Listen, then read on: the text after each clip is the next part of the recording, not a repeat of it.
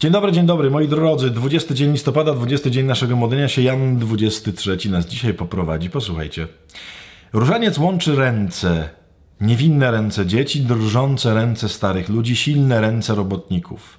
Z różnych stron świata wznosi się niczym prawdziwa psalmodia, która w jakiś sposób może stanąć obok recytowanego przez mnichów boskiego oficjum. To jest bardzo ciekawe myślenie. Zobaczcie, jest tutaj różaniec porównany do boskiego oficjum recytowanego przez mnichów. Co to znaczy? Chodzi oczywiście o brewiarz. Yy, tylko taki brewiarz, że tak powiem, w pełni. Nie? Mnisi szczególnie, którzy mają czas na modlitwę głównie.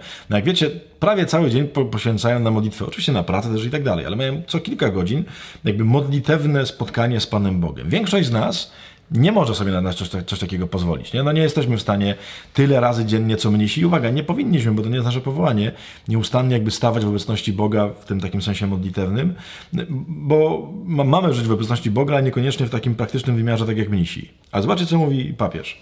Mówi, że jeżeli się modlimy w różnych miejscach na świecie, to są ręce młodych, ręce starych, ręce robotników i tak dalej, które ten różaniec tam przesuwają, to razem się łączymy w taką symfonię, jakbyśmy razem, tak jak mnisi na całym świecie, odmawiali cały dzień modlitwy. Bo zobaczcie, ty się modlisz o tej godzinie, ktoś się modli na drugim końcu świata o innej, ktoś się modli o tamtej, tak de facto cały dzień, jak razem jesteśmy ręcami złączeni, to się modlimy. To jest bardzo ładna perspektywa, że wpisujesz się w taką modlitwę całego świata, która do Pana Boga wzywa. Pamiętaj o tym, nie jesteś sam. To jest symfonia całego świata. Modlimy się, a nie lenimy się.